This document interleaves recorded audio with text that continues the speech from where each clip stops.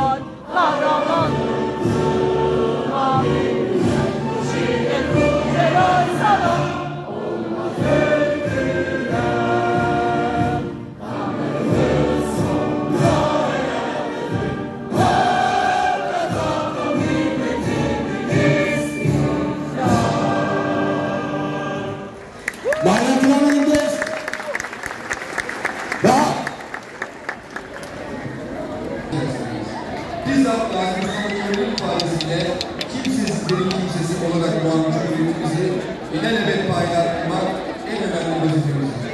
Bu anlayışla son 22 yılda ülkemiz başarıdan başarıya, zaferden